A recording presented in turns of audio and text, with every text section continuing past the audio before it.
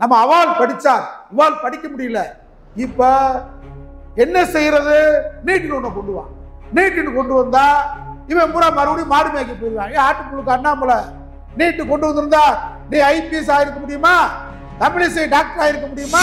பார்ப்பனர் பார்க்கறான். நீட் எதுக்கு வந்திருக்கு தெரியுமா? நம்ம வீட்டு பிள்ளை. நம்ம கள்ள வீட்டு பிள்ளை. மரவர் வீட்டு பிள்ளை. பறையர் வீட்டு பிள்ளை. பல்லர் வீட்டு பிள்ளை. டாக்டர் ஆயிடுச்சா? அப்போ இவனை தடுக்கிறதுக்கு வழி என்ன? அன்னைக்கு சமஸ்கிருதத்தை வச்சிருந்தா. நம்ம அவால் படிச்சா இவால் படிக்க முடியல. இப்ப என்ன செய்யறது? நீட்டில் ஒண்ணு கொண்டு எங்க அப்பா சம்பாரிச்சு வச்சிருந்த பணத்தினால நான் அவனை விட மார்க் கம்மியா வாங்கினவன் சேர்ந்துட்டேன். ஆனா அவனால சேர முடியல. அப்ப பணம் இருந்தால் எந்த கல்லூரியும் சேரலாம். அது மட்டும் இல்ல பிசிஏ பிசிக்கு இடம் இல்ல. ஐநூத்தி இருபது அவனோட ரிசர்வேஷன் கட் ஆஃப்னா ஐநூத்தி பத்தொன்பது எடுத்தாலும் அவனுக்கு கவர்மெண்ட் காலேஜ்ல சீட் இல்ல. மினிமம் மினிமம் பன்னெண்டு லட்சத்தி ஐம்பதாயிரம் ரூபாய் கட்டி தான் அவனால படிச்சு ஆக முடியும். மினிமம் மினிமம் நான் சொல்றது. இங்க வந்து மார்க்ஸும் மணியும் தான் டிட்டர்மைன் பண்ணுதே தவிர பேஷன் லவ் வந்து டிட்டர்மைனே பண்ண மாட்டேங்குது. ஒன்றிய அரசு தான் இந்த கொலைக்கு தூண்டுதல். தமிழகத்திலே நீட்ன திறந்ததுக்கு காரணம் ஜெகதீஸ்வரன் செல்வ மரணத்துக்கு காரணம் தற்கொலையை தூண்டியது. கவர்னர் இந்த தற்கொலைக்கு கொலைக்கு காரணம் ஒன்றிய அரசு மோடி. கொலைகாரர்கள். அண்ணா கேக்குறது, இந்த மானங்கட்ட நாயில பிளஸ் டூல இருக்கிற அதிக மார்க் வாங்கன்றீங்க பிளஸ் டூல இருக்கிற அதிக மார்க் வாங்கினா பிளஸ் டூல ஆயிரத்தி இருநூறுக்கு இருநூறே வாங்கினாலும் சரி பதிமூணு சதவீதம் மார்க் வாங்கினா மட்டும் இவன் பெரிய கெட்டிக்கார டாக்டரா என்னடா தகுதி உங்க தகுதி திறமை மானம் கட்டவங்களா? நீட்டு திரும்ப ஆதரிச்சு பேசுறியே. அண்ணாமலை ஒரு திருட்டு போய் ஆட்டுப்புழுக்க தமிழிசை பேசுறீ நீ. அண்ணாமலை இரங்கல் தெரிவிச்சிருக்காரு. இரங்கல் தெரிவிச்சா போதுமா? ஏண்டா மானங்கட்ட பேல? நீட்டு தேர்வை ரத்து செய்வேன். தமிழ்நாட்டில் சொல்ற அப்பதான் நம்ம பாஜக வளர. லட்சங்களை கொட்டி எங்கள் பணத்தை வீர்வை சிந்தேகமாக இந்த வெற்றி பெற வச்சிருக்கோம். நீட்டு தேர்வு விளக்காகுமாயா அப்படின்னு கேட்கறதுக்கு முன்னாடியே மைக்க புடுங்கி ரவுடி மாதிரி ரோட்ல போற பொறுக்கி மாறி இந்த கவர்னர் நடந்துட்டு பார்ப்பன கொழுப்பு திமிர். அரண்மனை நாயே அடக்கடா வாயேன்னு சொல்லுவாங்க. அது மாதிரி நீ அரண்மனையில் உட்கார்ந்துருக்கிற நீ அடக்கப்படுவாய். ஒரு பதவிக்கு மரியாதை இருக்கு அந்த கவர்னர் பதவிக்கு மரியாதை அவருன்றேன். இல்லாட்டி போடா வெண்ணன்னு சொல்லணும். ஏன்னு கேட்டா முறையில்.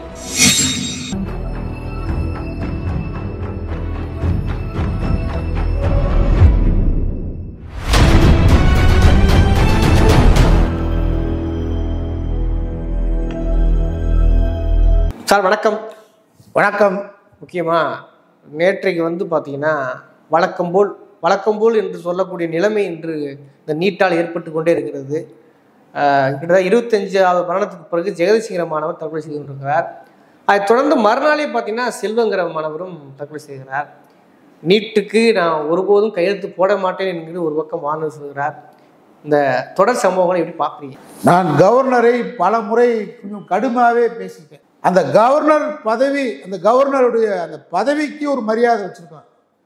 ஆனால் அந்த இப்போ உட்காந்துருக்கக்கூடிய ரவி வந்து நான் என்ன சொல்றேன்னே தெரியல ஒரு மனநோயாளியை போய் கவர்னராக உட்கார வச்சு காட்டு முராண்டியை போய் கவர்னராக உட்கார வச்சுருக்காங்க. ஒரு அறிவு கட்டவன் எதை பேசணும் என்ன பேசணும்னே தெரியாத ஒரு அடி முட்டாள் கவர்னர் பதில் உட்காரலாமா? தமிழ்நாட்டுக்கு வந்து நீ வந்து தாமரையை மலர வைக்கணுன்றதுக்காக அடி முட்டாள் பேரை போய் கவர்னராக உட்கார வச்சுக்கிட்டு மக்களுடைய எண்ணங்களுக்கு எதிராகவே பேசி பழக்கப்பட்டா எப்படி இங்கே தாமரை மலர என்னதான் இருந்தாலும் ஒரு பதவிக்கு மரியாதை இருக்கு. அந்த கவர்னர் பதவிக்கு மரியாதை அவருன்றேன். இல்லாட்டி போடா வெண்ணன்னு சொல்லணும்.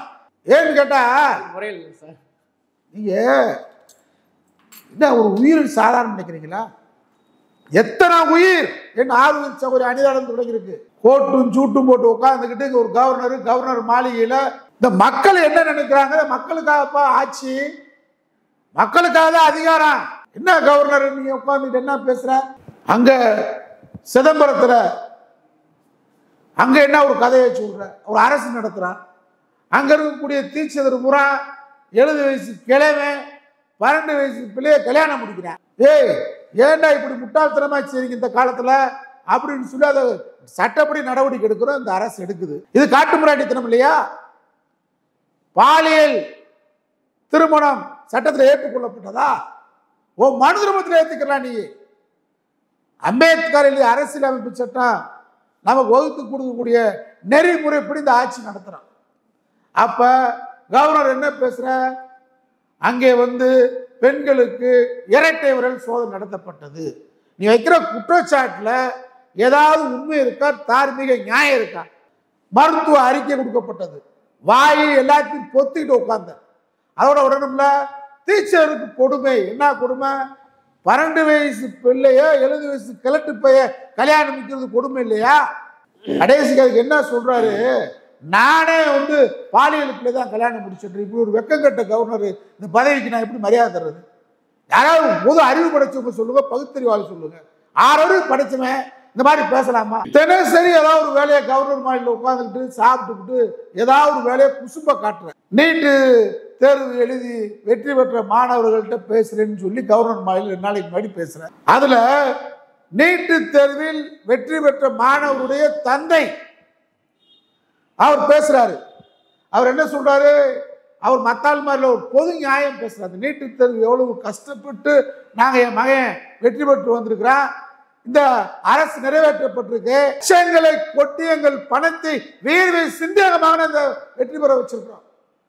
நீட்டு தேர்வு விளக்காகுமாயா அப்படின்னு கேட்கறதுக்கு முன்னாடியே மைக்க புடுங்கி ரவுடி மாதிரி ரோட்ல போற பொறுக்கி மாதிரி இந்த கவர்னர் நடந்துட்டு இருக்கிறார். அந்த பேசக்கூடிய அந்த மாணவனுடைய தந்தையுடைய மைக்கை பிடுங்கி அவர் பேசின காட்சியை நீங்க இந்த காட்சியை வெளியிடுங்க. அவர் உடல் செய்கை எப்படி இருந்துச்சு பாத்தீங்களா? அந்த கவர்னர் ஒரு கவர்னர் பதவிக்கான உடல் செய்யாது. பார்ப்பன கொழுப்பு திமிர். அரண்மனை நாயே அடக்கடா வாயேன்னு சொல்லுவாங்க. அது மாதிரி நீ அரண்மனையில் உட்கார்ந்துருக்கிற உன்னை அடக்கப்படுவாய். மைக்க பிடுங்கி உடல் செய்கை வந்து ஒரு கவர்னருக்கான பதவியில் உட்கார்ந்துருக்குமே.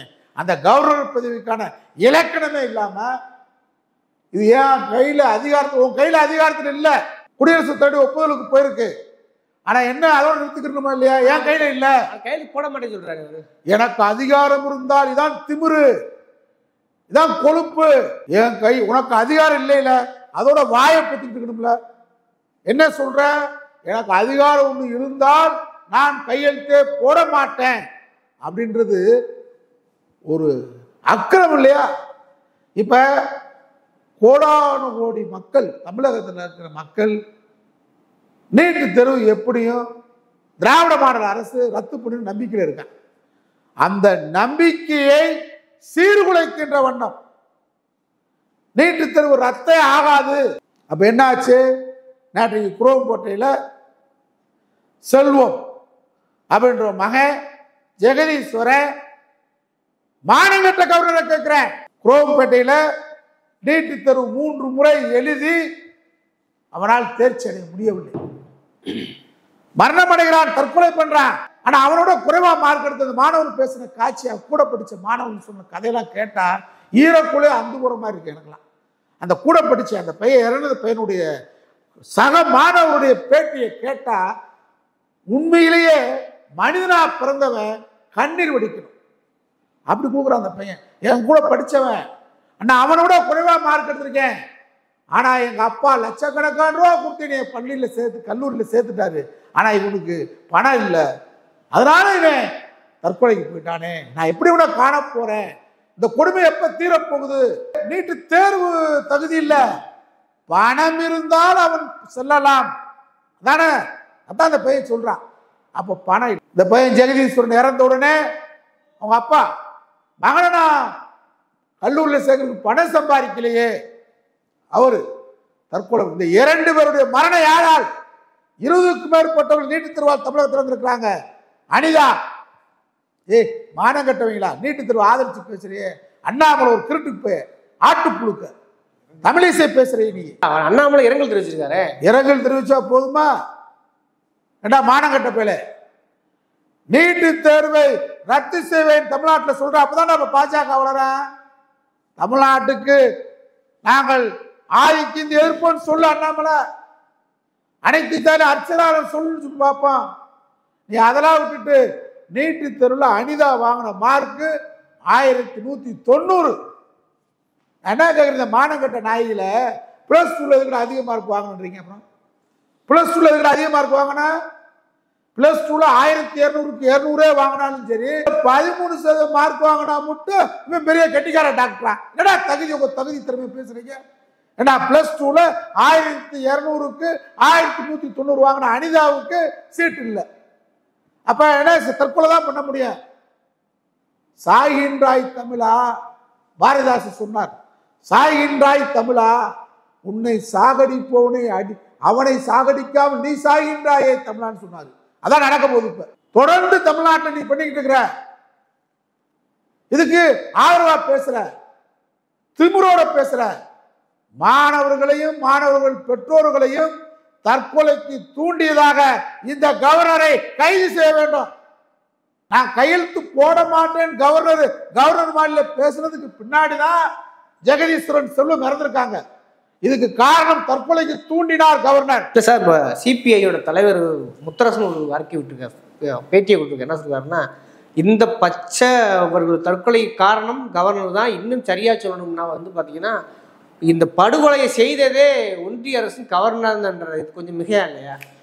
மிக எப்படி சொல்ல முடியும் மக்களால் தேர்ந்தெடுக்கப்பட்ட அரசு இரண்டு முறை தீர்மானம் நிறைவேற்றி கொடுத்துருக்கிறான். ஒன்றிய அரசுக்கு என்ன தெரியும்? நீ டெல்லியில் உட்காந்து சப்பாத்தி சாப்பிட்றவனுக்கு எங்க மக்களுக்கானதை நாங்கள் சொல்றோம்டா. கடமலை கொண்டு வருஷ நாடு. இங்க இருக்கிற பிள்ளையும் சிபிஎஸ்சி எழுதின பிள்ளைக்கு எப்படா நாங்கள் வந்து ஒரே தகுதி தேர்வு நடத்த முடியும் நீ? டெல்லி மும்பை கல்கத்தா போன்ற பெரும் மெட்ரோபாலிட்டன் நகரத்தில் இருக்கிறவனும் எங்கள் ஆண்டிப்பட்டி செல்லம்பட்டி வாலாங்கூர் இருக்கிற பிள்ளைய எப்படி ஒரே தேர்வு எழுத முடியும்? நாங்கள் ப்ளஸ் டூவில் தான் படிக்க வைக்க முடியும். ப்ளஸ் டூவில் அதிக மார்க் வைக்க வாங்க முடியும் மதிப்பெண் வாங்க முடியும். எங்கள் வீட்டு பிள்ளை கிராமத்துக்கார பிள்ளை சேரி வீட்டு பிள்ளை தாழ்த்தப்பட்ட பிற்படுத்த காட்டு வீட்டு பிள்ளை என்ன செய்ய முடியும் நாங்கள் உழைக்கி ஒருக்கலாம் நீ பாப்பா வந்து மூணு தலைமுறை அஞ்சு தலைமுறையா படிச்சிருக்க. உன் வீட்டில் பென்ஷன் வாங்குறதே பத்து பேர் இருக்கான். அஞ்சு லட்ச ரூபா பாப்பா வீட்டில் பென்ஷன் வாங்குறதே இருக்கான். மாசம் இல்லையா? சொல்லு பாப்பா. நீ படிக்க வைக்கலாம். நீட்டுன்னு ஒண்ணு கொண்டு வந்து இந்த கவர்னர் அயோக்கிய கவர்னர் அதாவது ரம்மி விளையாட்டு தடை செய்யும் சொன்னா கொலைன்னு சொல்லலாமான்னு. கொலை தற்கொலை ஒன்றிய அரசு தான் இந்த கொலைக்கு தூண்டுதல். தமிழகத்திலே நீட்டின திறந்ததுக்கு காரணம் ஜெகதீஸ்வரன் செல்வ மரணத்துக்கு காரணம் தற்கொலையை தூண்டியது கவர்னர். இந்த தற்கொலைக்கு கொலைக்கு காரணம் ஒன்றிய அரசு மோடி. கொலைகாரர்கள் பகிரங்கமா சொல்றேன். அப்படி சொல்லிட முடியுமா? நூத்துக்கு நூறு அது யாரு? நாங்க மக்களால் தேர்ந்தெடுக்கிற மாநில அரசு தீர்மானம் நிறைவேற்றி கொடுத்துருக்கோம். அந்த தீர்மானத்தை ஒத்துக்கிட்டு குடியரசுத் தலைவர் கையெழுத்து போட்டா இந்த மரம் நடக்குமா? மக்கள் என்ன நினைக்கிறாங்களோ அதை செயல்படுத்துங்க. சர்வதிகாரி மாதிரி செயல்படக்கூடாது நீங்க ரம்மி விளையாட்டு தடை செய்யணும்னு சொல்றான். ஆனா ரம்மி விளையாட்டு நடத்துறவனை கூப்பிட்டு உட்கார்ந்து பேசுற காசு வாங்குற. இல்லையா? ஊழலை பத்தி அண்ணாமலை தெருவில் நடந்து போற. சி மானங்கட்ட நாய். ரம்மி விளையாட்டு விளையாடுறான். ரம்மி விளையாட்டில் தற்கொலை பண்ணுறான் ரம்மி விளையாட்டில் தற்கொலை பண்ணுறவனை நீ வந்து தடை செய்ய விட்டு விட்டு நீ யார்கிட்ட போய் பே- காசு வாங்கி உட்காந்து பேசுகிற யார்கிட்ட பேசுகிற நீ? அந்த ரம்மி விளையாட்டு நடத்துறவன பேசுகிற அது மாதிரி நீட்டு தேர்வை ரத்து செய்யணும்னு சொன்னால் நீட்டு தேர்வு நடத்துகிற கோச்சிங் சென்டருக்காரனை கூப்பிட்டு நீ உட்காந்து பேசுகிற கோச்சிங் சென்டருக்கு பதினஞ்சு லட்சத்துலேருந்து இருபத்தஞ்சு லட்சம் வாங்குறான். கொள்ளையோ கொள்ளை. இல்லை சார் வந்து நீட் வந்து எல்லா மாநிலங்களும் இருக்கிறது தமிழ்நாடு மாநிலம் எதுக்கிறது அப்படின்னு சொல்லி தொடர்ந்து இவங்க சொல்லிட்டு இருக்காங்கல்ல பிஜேபிக்காரர்கள் எப்படி புரிஞ்சுக்கிறது? எந்த மாநிலம் எதுக்குற எதுக்கல? நாங்க இந்த மக்களுக்கான அரசு நடத்துறோம். இந்த மக்களுக்கு இது வந்து நீ திணிக்கிற எதை திணிக்கிறா கலாச்சாரத்தை திணிக்கிற. நீட்டு மூலமாக எங்க சேரி வீட்டு பிள்ளை பிற்படுத்த தாழ்த்தப்பட்ட வீட்டு டாக்டர் ஆகக்கூடாது நினைக்கிறேன். நீட்டு மூலமா எங்க தடை செய்யற. முன்னாடி மருத்துவக் கல்லூரியில் சேரணும்னு சொன்னால் சமஸ்கிருதத்தில் நுழைவுத் தேர்வில் தேர்ச்சி பெற்றால்தான் மருத்துவராக முடியும். இதை போராடியவர் பெரியார். சமஸ்கிருத நுழைவுத் தேர்வை எடுன்னு சொன்னார். அன்றைக்கு பனகல அரசர் நீதி கட்சி காலத்தில் சமஸ்கிருதம் தேவையில்லை என்றதை எடுத்தது நீதி கட்சி பெரியாருடைய போராட்டம். அதனாலதான் முதல்ல வந்து நம்முடைய டாக்டர் முத்துலட்சுமி ரெட்டி மருத்துவரானாங்க. நம்ம வீட்டு பிள்ளைலாம் இன்னைக்கு மருத்துவராக காரணம் நீதி கட்சி திராவிட இயக்கம். அது ஒரு கலாச்சார படையெடுப்பு சமஸ்கிருதம் தெரிஞ்சாதான் நீ வரணும்னு சொன்னா நம்ம வீட்டு பிள்ளை எப்படி வர முடியும்? பாப்பா மட்டும் டாக்டரா இருக்கா நீ தடை பண்ண. இப்ப நம்ம வீட்டு பிள்ளை முதல் தலைமுறையாக இப்பதான் நம்ம டாக்டர் ஆயிருக்கோம். அதுக்கு உங்களுக்கு தாங்கல. அதனாலதான் சமஸ்கிருதத்தை காமித்து தடை வச்சியோ அது மாதிரி நீட்டை வைக்கிறேன். நீட்டு யார் எழுத முடியும்? சிபிஎஸ்சி படிச்சு சிலபஸ் படிச்சவங்க தான் எழுத முடியும். அந்த மாநிலம் முடியலங்கிறாங்களே இப்ப. அதே முடியல. அந்த பையனை சொல்றாப்லையே. அதே முடியல. நீங்க அந்த பையனுடைய பேட்டியை முழுமையா பொதுமக்கள் பார்க்கணும். அந்த சக மாணவர் இறந்து போனவருடைய ஜெகதீஸ்வரன் கூட படிச்ச பையன் அவ்வளோ உணர்ச்சியா கொடுக்குறான். எங்க அப்பா சம்பாரிச்சு வச்சிருந்த பணத்தினால நான் அவனை விட மார்க் கம்மியா வாங்கினவன் சேர்ந்துட்டேன். ஆனா அவனால சேர முடியல. அப்ப பணம் இருந்தால் எந்த கல்லூரியும் சேரலாம். அது மட்டும் இல்ல பிசி எம்பிசிக்கு இடம் இல்ல. ஆனா இடபிள்யூசி கொண்டு வந்து பொருளாதாரத்துல முன்னேறிய வகுப்பினர். என்னடா சமூக பொருளாதாரத்தை முன்னேறிய வகுப்பினர் பத்து சதத்துல அதுல நீ வர்ற. பாப்பா உள்ள நுழையிற. அதனால என்ன சொல்றேன்னு கேட்டா இது ஒரு தமிழர்கள் மீது குறிப்பாக தாழ்த்தப்பட்ட பிற்படுத்தப்பட்ட மக்கள் மீது தொடுக்கப்பட்ட ஆரிய கலாச்சார போர். இந்த போரை தடுத்து நிறுத்தின அந்த திமிரில் தான் கவர்னர் பேசுறார். கவர்னர் என்ற பதவியை மீறி தமிழகத்து மாணவர்களை நம்பிக்கையோடு இருக்கிறான். திமுக அரசு நீட்டு தேர்வை ரத்து செய்யும். நீதிமன்றத்தில் போராடியாவது ரத்து செய்யும் நினைக்கிறான். அவன் மனசுல நீ தொய்வை ஏற்படுத்துறதுக்காக அவன் மனசை கலங்கடிப்பதற்காக நடக்கவே நடக்காது. நீட்டு தேர்வு தான் உண்டு என்று சொல்லி பல ஆயிரக்கணக்கான உயிரை குடிக்க இருக்கக்கூடிய இந்த கவர்னர் உலகார கவர்னர் உலகார ஒன்றிய அரசு. ஆனா இந்த கவர்னரை கைது செய்யணும். ஜெகதீஸ்வரன் செல்வ மரணத்துக்கு காரணம். இன்னும் பல ஆயிரம் பேர் மரணம் அடைய இருக்கிறாங்க கவர்னர் தான் இந்த கொலைகளுக்கு தற்கொலைகளுக்கு காரணம். இறுதி என்ன சார் சொல்ல வரீங்க அதாவது நீட் எதுக்கு அவன் வந்து கொண்டு வரான்னு கேட்டா சமஸ்கிருதத்தை நாம் தடை செய்ததற்கு பின்பாக சமஸ்கிருதத்தை நுழைவுத் தேர்விலிருந்து தடை செய்ததற்கு பின்பாக தமிழகத்தில் நீங்க மா உத்தரப்பிரதேசம் தான் மக்கள் தொகை அதிகமான கொண்ட மாநிலம். ஆனால் மருத்துவக் கல்லூரியில் இந்தியாவிலேயே அதிகமாக மருத்துவக் கல்லூரி இருக்கக்கூடிய நாடு நம்ம தமிழ்நாடு தான். அதனால இதுக்கு காரணம் என்னன்னு கேட்டால் திராவிட இயக்கம். திராவிடம் என்ன கிழிச்சிச்சின்னு கேட்குற பாருங்க சீமா இந்த ஆட்டு புழுக்க அண்ணாமலைலாம் இதாண்டா கிழிச்சிச்சு. தமிழ்நாடு நீங்கள் உத்தரப்பிரதேசத்தில் மக்கள் தொகை அதிகம் கொண்ட மாநிலம். மராட்டியம் ஆனால் தமிழ்நாட்டில் தான் மருத்துவக் கல்லூரி அதிகம். அப்போ மருத்துவ கட்டமைப்பு கூடியிருக்கு. இன்னும் சொல்லணும்னா திராவிடம் பெரியாரும் அண்ணாவும் கலைஞரும் எம்ஜிஆரும் ஜெயலலிதாவும் என்ன செஞ்சாங்க? இன்னும் சொன்னால் எடப்பாடியை கூட சேர்த்துக்கலாம் பதிமூணு மருத்துவக் கல்லூரி எடப்பாடி காலத்தில். இதான் திராவிடம். கருத்து ஒருபாடு ஆயிரம் பேசுவோம் அது வேற. ஆனால் திராவிடம் கிழிச்சது இதுதான். இன்னும் சொல்லவா?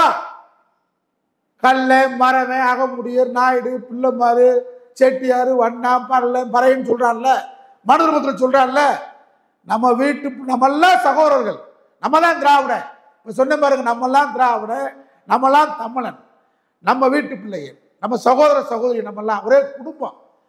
ஆனால் நம்ம வீட்டு பிள்ளை கூட இப்போ நான் சொன்ன அத்தனை ஜாதி வீட்லயே டாக்டர் ஆகிட்டோம் இல்லைன்னு சொல்ல முடியுமா? இது யாருனால? திராவிடம் செஞ்ச சாதனை. இதை மேலேருந்து பார்க்குறான். பார்ப்பனர் பார்க்குறான் நீட் எதுக்கு வந்திருக்கு தெரியுமா? நம்ம வீட்டு பிள்ளை நம்ம கல்லை வீட்டு பிள்ளை மரவர் வீட்டு பிள்ளை பறையர் வீட்டு பிள்ளை பல்லர் வீட்டு பிள்ளை டாக்டர் ஆயிடுச்சா?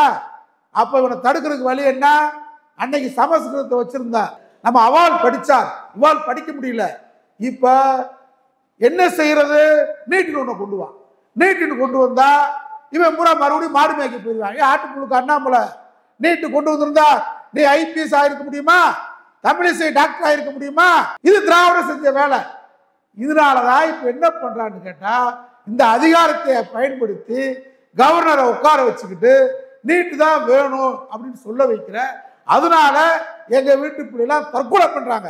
அதனால இந்த தற்கொலைக்கு காரணம் தமிழகத்தில் நடைபெறுவதற்கு உலகார பாவி கவர்னர் ரவி ரவி ரவியை கைது செய்ய வேண்டும்.